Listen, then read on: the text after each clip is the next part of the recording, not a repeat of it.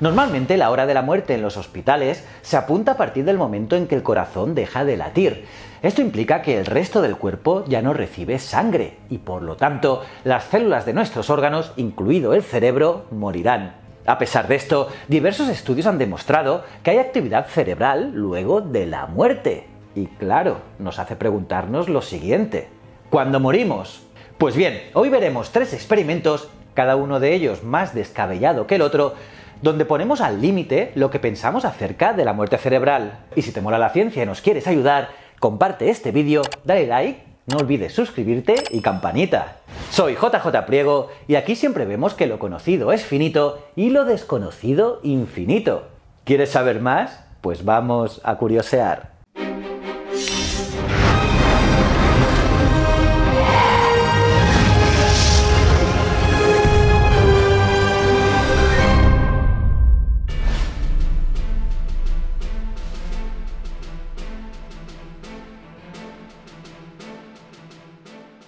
El primer estudio fue realizado en el 2011 y buscaba investigar si había alguna experiencia consciente después de la decapitación en ratas, tanto despiertas como anestesiadas. El experimento empezó poniéndole electrodos a las cabezas de las ratas y mediante estos se medirían los resultados del electroencefalograma 30 segundos antes de la decapitación y hasta 5 minutos después de la misma. Y claro, en las mediciones de antes de la decapitación, los animales despiertos mostraron conciencia y respuesta sensorial. Y después de la decapitación hubo una gran caída de la señal del electroencefalograma, seguido de movimientos de masticación. Y en general, la señal del electroencefalograma se volvió nula después de los 15 segundos de la decapitación, lo que indica que no hay respuesta a los impulsos sensoriales ni ningún nivel de cognición. Sin embargo, entre los 50 y los 80 segundos después de la decapitación, hubo una gran onda muy lenta en la electro que apareció en todas las ratas. Los investigadores especulan que es en este momento donde las neuronas pierden su habilidad eléctrica y una gran cantidad de iones causan una despolarización a lo largo del cerebro, lo que llamaron la onda de la muerte. Los resultados de este estudio nos llevan a creer que la conciencia se pierde casi inmediatamente después de la decapitación. Sin embargo, las neuronas se mantienen activas hasta un minuto después de la muerte, lo que quiere decir que tenemos un retraso importante entre la muerte del cuerpo y la cerebral. Pues bien, en 2017 se realizó un estudio similar en pacientes terminales, donde se registró la actividad cerebral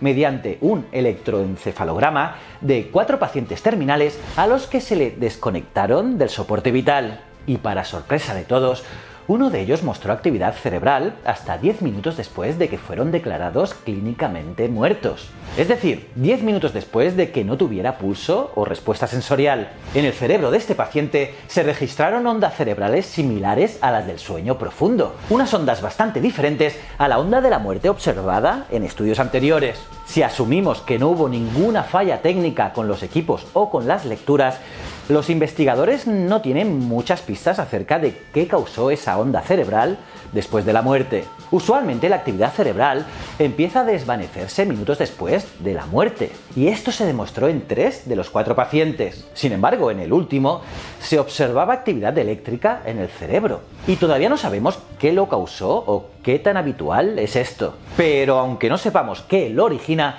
nos da un vistazo a lo que podríamos percibir después de la muerte. ¿Acaso el paciente estaba consciente de todo durante este tiempo? ¿Es posible que pudiera haber mantenido la conciencia después de la muerte? Pues debido a que los cuatro pacientes mostraron lecturas muy distintas en la electro antes y después de la muerte, podríamos creer que al igual que la vida, la experiencia frente a la muerte es única para cada persona.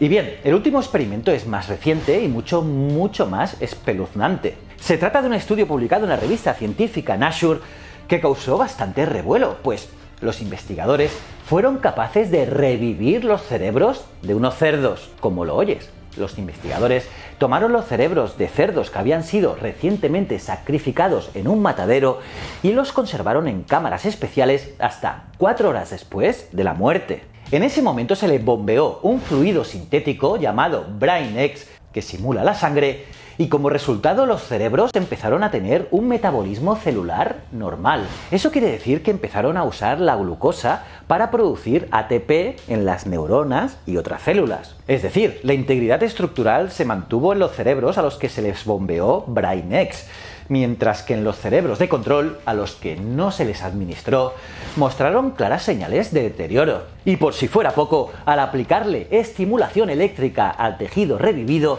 algunas neuronas individuales empezaron a funcionar. Aunque eso sí, no de una manera sincronizada que pudiera dar indicios de conciencia. Pero aún así, los autores creen que aplicando impulsos eléctricos suficientemente fuertes, se podría incluso reactivar actividad neuronal más sofisticada. Y claro, estos resultados implican un avance médico muy grande y que tendremos que ver con atención en el futuro. En lo que concuerdan los tres estudios es que el cerebro puede mantenerse funcional de una manera que excede lo que se creía previamente.